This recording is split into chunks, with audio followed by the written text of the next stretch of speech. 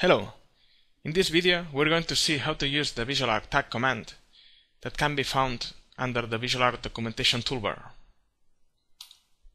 This tag command is used to display labels with a specific reference text for visual objects in the model. For example, if we want to tag this column, we have to run the tag command, select one tag style, and a label will appear at the bottom of the visual object. In this case, this label appears empty because the column tag field is empty too.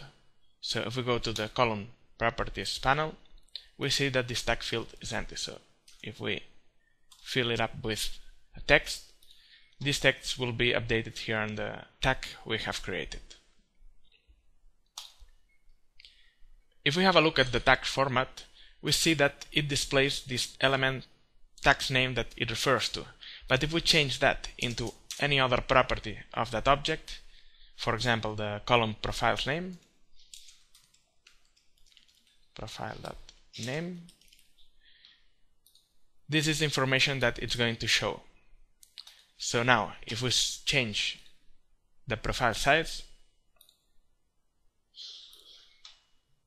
this information will be updated on this tag element. Now let's repeat the process for another visual object, for example a door. So we will going to see the model from the top viewport.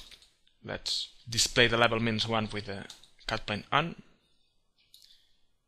And in this case we will assign first a tag name for this door before running the tag command. So we select the door properties and here we type a reference name for the door, for example D1. Now we run the tag command, we select the door, and the tag appears here with the with that reference name we have just written. This tag position is related to the door's position, so if we move it, the tag moves too. And also we can display other properties of the of the door. For example its profile size in this case we're going to select the tag and here we're going to copy this formula to type first the width and again the height.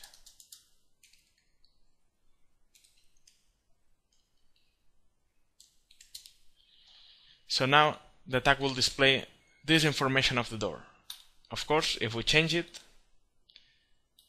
let's put here, for example, 70 centimeters by 2 meters high, the tag information will update.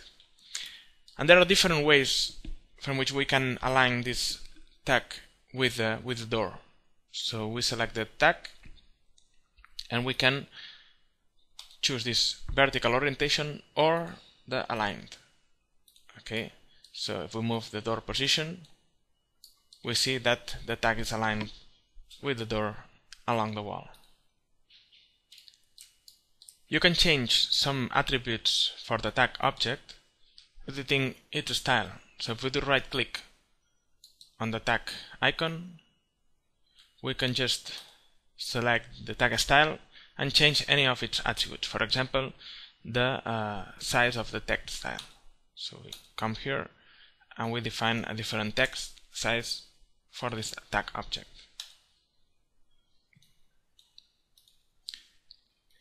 And finally, I will show you a little trick to quickly assign a tag field to all openings that are in the model.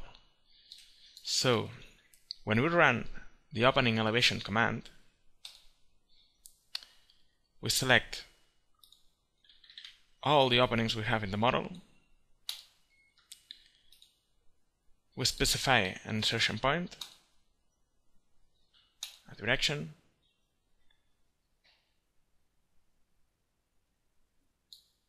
and as you can see all the doors and windows have a reference text assigned by default. So now if we run the tag command and select all the doors and windows.